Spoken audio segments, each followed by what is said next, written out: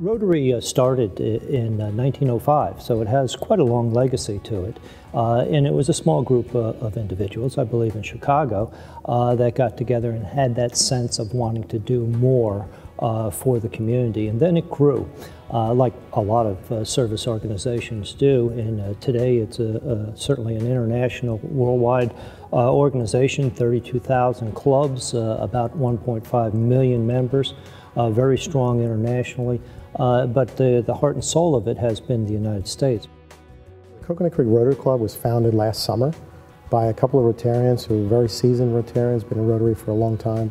And we wanted to try something new. We wanted to try a, a format that is new to Rotary world, but also go in an area where Rotary was really not represented. The nice thing about it is it gives us the ability to start new, start fresh, kind of revisit back to the fundamentals of what Rotary is all about, which is serving the community. Our motto is service above self. So that being the case, we wanted to really go back to our roots and introduce the concept to an area that didn't really have Rotary in it before. Forming a, a Rotary Club in Coconut Creek was important for a couple reasons. Uh, one is that it, this is an underserved area for, uh, for Rotary. There isn't uh, a, a, Rotary Club. The second reason is that all organizations, uh, whether they're support organizations or, or, or uh, service organizations, uh, or even businesses need to uh, continually reinvent themselves. So new clubs are very, very important for Rotary.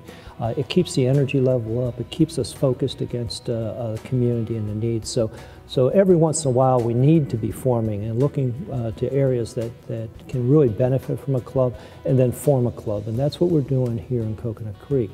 So a couple of the projects we worked on so far is we did a barbecue for the firemen of, the, of the city. And what's nice about that is most of them had never heard of Rotary before. And they were confused as to why were we doing this for them? Because it was so unexpected, but yet so nice of an experience for them. And we had about 25 of them come out. Uh, they have actually invited some of the police officers, which was kind of interesting to see that as well. And really had a great time with them.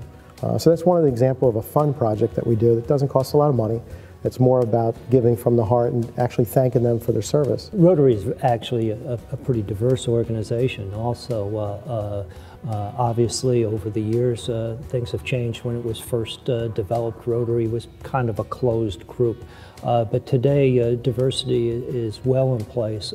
we have you know, a, a, strong base of women participants in Rotary.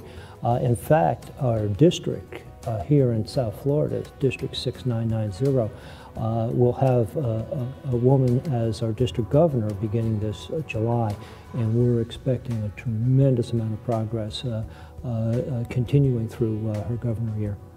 So if you want to find us, either go to Facebook at Coconut Creek Rotary or coconutcreekrotary.org.